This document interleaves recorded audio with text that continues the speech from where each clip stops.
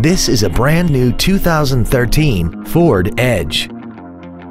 This crossover has an automatic transmission and a 3.5-liter V6. Its top features include traction control and stability control systems, XM satellite radio, big 18-inch wheels, and a tire pressure monitoring system.